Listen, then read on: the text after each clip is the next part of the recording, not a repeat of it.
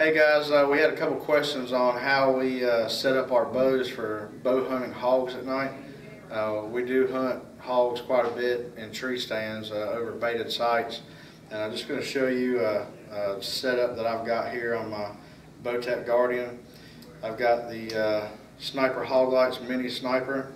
And uh, with these bow lights, they screw right into your stabilizer and you have a little trigger and uh, it's just a pressure switch. So your light turns on. Uh, red light doesn't bother the hogs at all unless they're real spooky. Uh, like I said, uh, just all you do is just hit it with your finger when you're getting ready to shoot. And also, uh, another important thing is to have a lighted pin. I have a HHA uh, here and just the lighted pin really makes a difference because otherwise you're not going to be able to see your pin in the dark no matter what kind of light you have. Uh, we use uh, sniper hog lights, exterminator feeder lights on our bait sites. So uh, the, the bow light helps to you know, maybe catch a hog that's walking around the feeder light that's not committing to the bait site. And uh, one of the, the things that would come across is your peep sight too.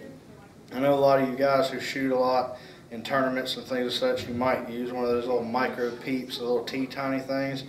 Well, that's not going to work in the dark you cannot see a hog through a small peep sight and your lighted pin in the dark is just not going to happen. You can try to shoot in your backyard with a little small peep and you're going to see that it's just it's not going to work. So I used to shoot a really big peep uh, and then I just worked my way down until I found the one I could use without uh, it you know blocking out my sight picture. So uh, we're going to shut the lights off, show you guys a couple uh, shots how it works in the dark.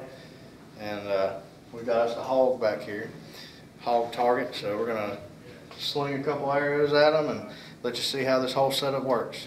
All right, hold on. Yep.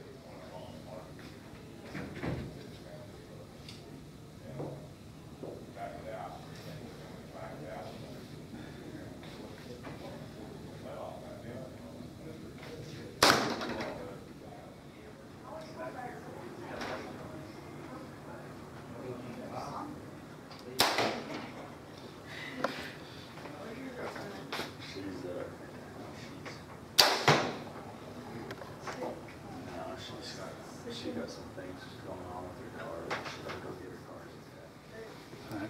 All right, well, as you've seen the uh, sniper hog lights work and uh, the lighted pin, you can see them in the dark.